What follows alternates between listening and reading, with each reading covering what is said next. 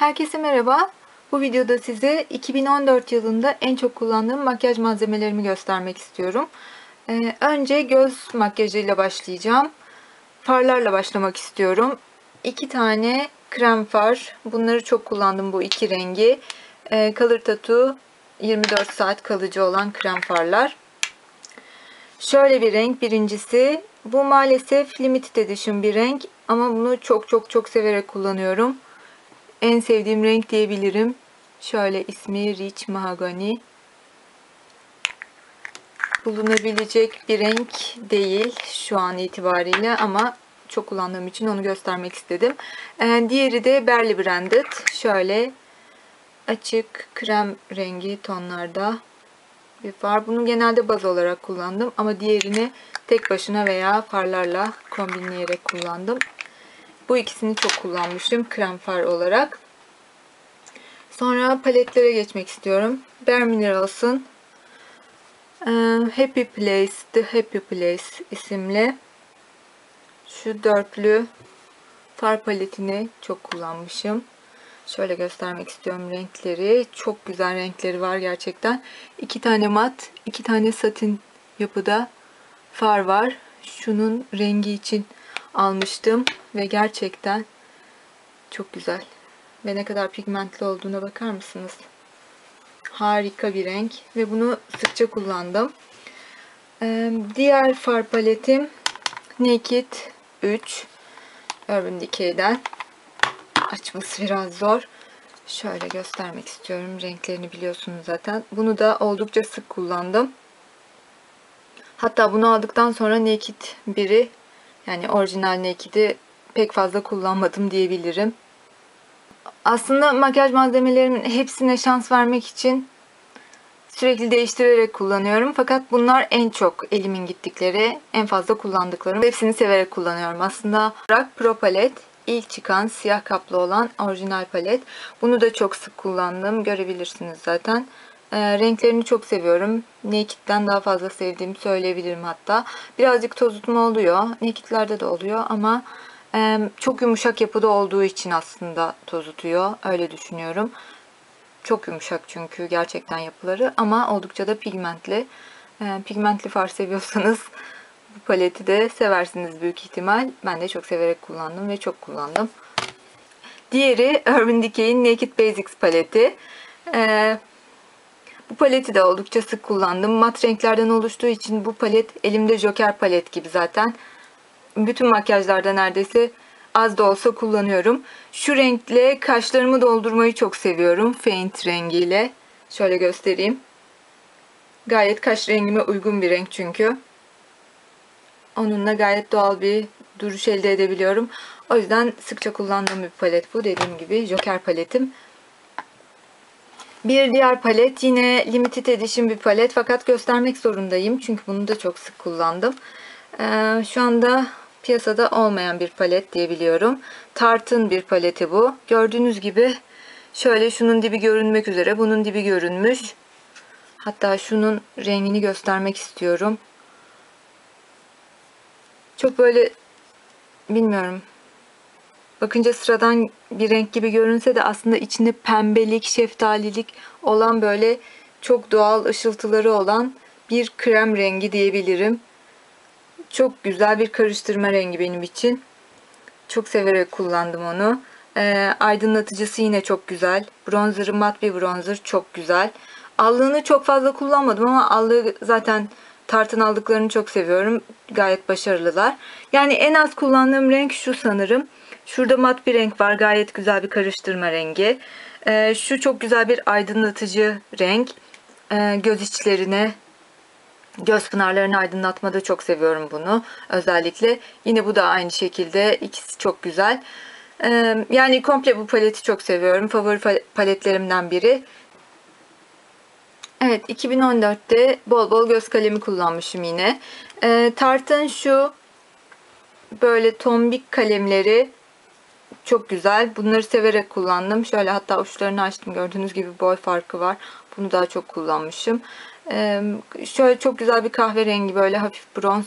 Bu da yine göz pınarlarını falan aydınlatmak için daha çok kullandığım ya da baz olarak kullandığım bir kalem. Ee, de çok seviyorum. Arkalarında fırçaları var dağıtmak için. Şöyle. Bunları sıkça kullandım. Yine Revlon'un kahverengi bir kalemi var. Bundan kaçıncı bitirişim hatırlamıyorum bile. En az 5-6 tane bitirmişimdir herhalde. Yine arkasında fırçası var. Sevdiğim güzel bir kalem. Ee, bu da Rimmel London'ın bir kahverengi kalemi.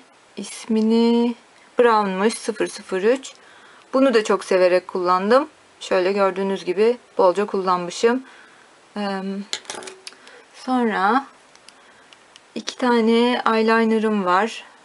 Birincisi aslında bu tarz eyelinerları çok sevmiyorum ama bunlar güzel diye düşünüyorum. Şöyle ucu şöyle olanlardan. Bu The Balm'ın bir eyelinerı. Bundan bir tane bitirdim. Bu ikinci. 2014'ün sonlarında çok kullanmaya başladım ve bunu çok sevdim. Gerçekten çok incecik bir eyeliner çizebiliyorsunuz. Gayet kolay. Çok başarılı bir eyeliner olduğunu düşünüyorum bunun. Bu tarz eyelinerları çok sevmesem de bu eyelinerı çok sevdim. Tarte'ın şu eyelinerını sıkça kullanmışım gördüğünüz gibi. Bronz renkte. Çok güzel bir eyeliner. Günlük kullanımda çok seviyorum. Bunun dışında bir de Physicians Formula'nın bir eyelinerını kullandım. Daha önceki videolarımı izlediyseniz eğer bilirsiniz şöyle üçlü olanlardan. Onun kahverengisini bitirdim. Onu da bir, tane videosu çekersem eğer orada göreceksiniz. Onu da çok kullandım ve bitirdim. Ee, sonra kirpik için yani rimel olarak en çok Değer Real'ı kullandım Benefit'ten. Ee, bundan 2 ya da 3 tane mini boy bitirdim 2014 yılında. Genelde değiştirerek kullanıyorum. Hep aynı rimelleri kullanmıyorum doğrusu. Ama 2014'te en çok kullandığım rimel Benefit Değer Real oldu. Ee, anlaştırmıyor açıkçası. Bunun en çok kirpikleri tarama etkisini seviyorum. Yani tek tek ayırıyor kirpikleri. Çok düzgün bir şekilde ayırıyor. Kesinlikle birbirine yapıştırmıyor. O konuda çok başarılı buluyorum. Hafiften uzatıyor diyebilirim. Çok kıvrık tutmuyor.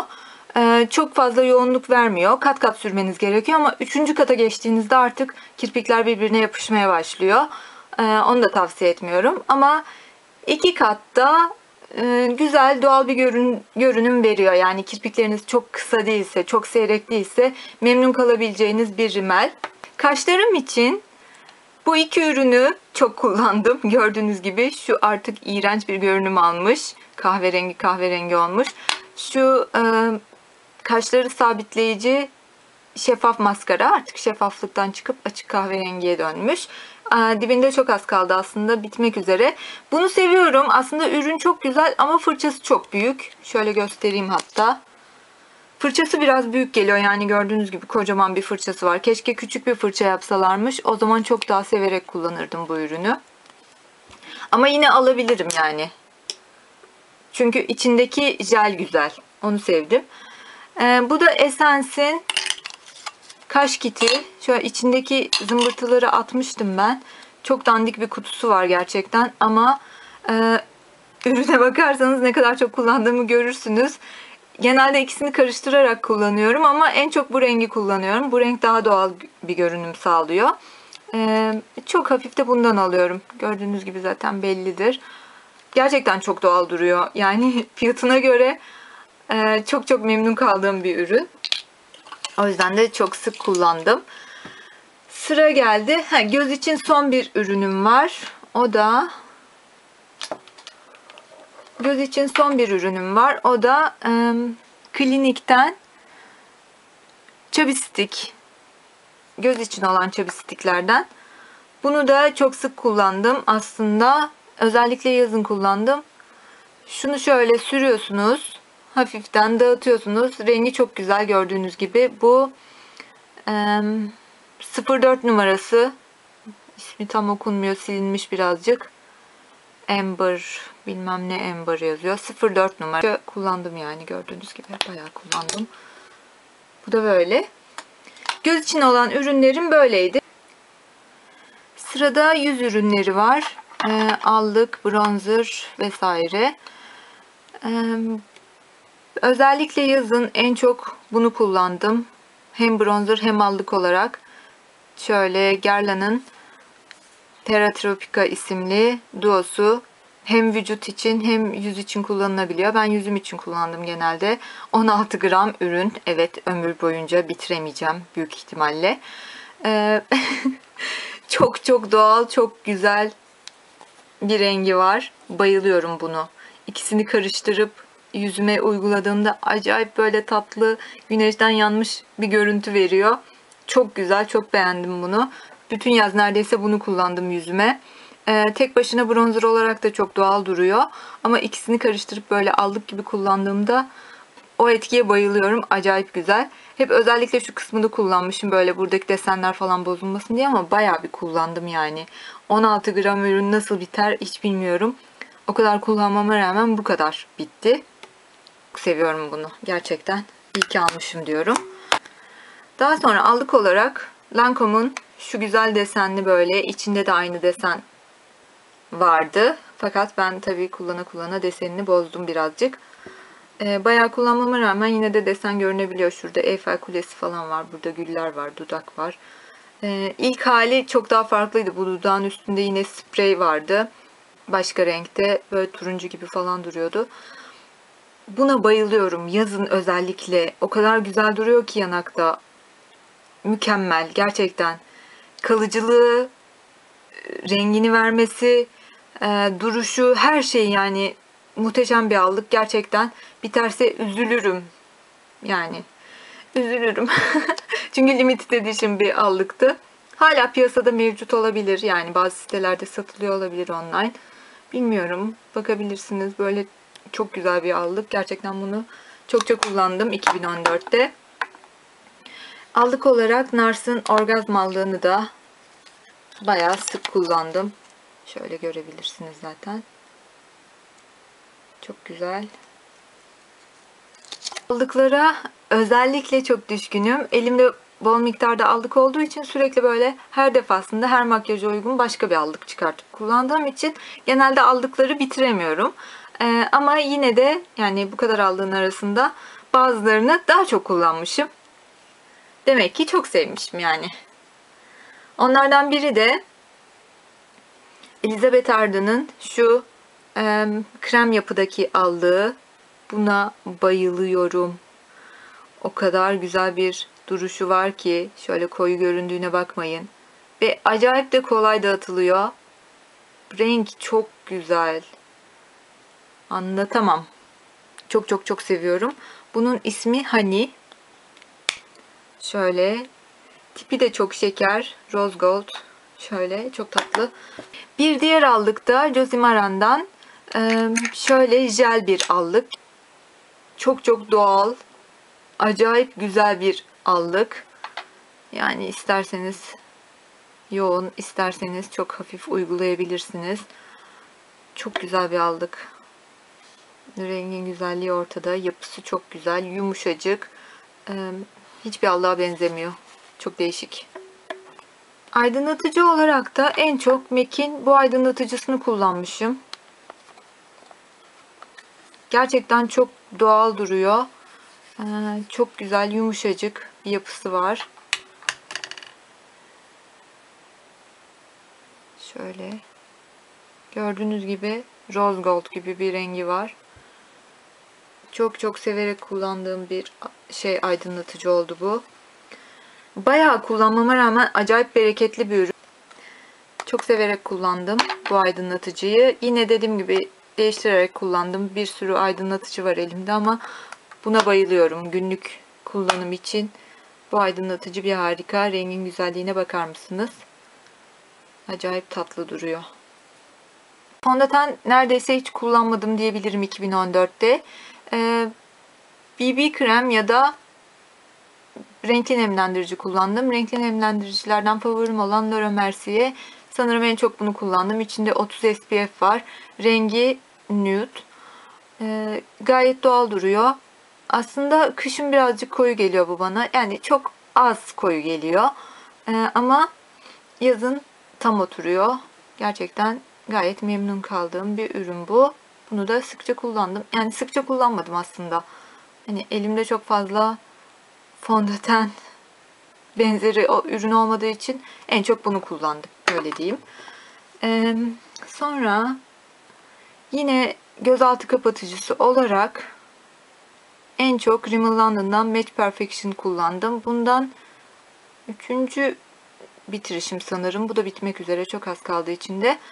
Bunun da Ivory rengini kullanıyorum. Şöyle 010. Bundan memnunum. Ürünü çok seviyorum ben. Yani çizgilere dolmuyor. E, gayet doğal duruyor. Çok böyle aşırı yapay bir görüntü oluşturmuyor göz altlarında. Hem birazcık aydınlık, aydınlık veriyor. Eğer göz altlarımı çok mor hissediyorsam o gün, çok koyu hissediyorsam e, altına Clarence'in korektörünü uyguluyorum. Aslında o da kapatıcı ama ben korektör gibi kullanıyorum. Rengi birazcık e, somona çaldığı için. Somon rengi gibi böyle içinde pembelik olan bir renk çünkü. Onu altına uyguluyorum. Üstüne bunu uyguluyorum. Mükemmel oluyor. E, günlük makyaj için vazgeçilmezim diyebilirim. Bunu da çok kullandım. E, şey olarak da pudra olarak da dibini gördüm. Gördüğünüz gibi oldukça fazla kullanmışım bunu. Biraz sıkıldım bundan ama yine de seviyorum. İçinde talk yok bir kere. E, cilt için güzel bir ürün. Physicians Formula'nın bu.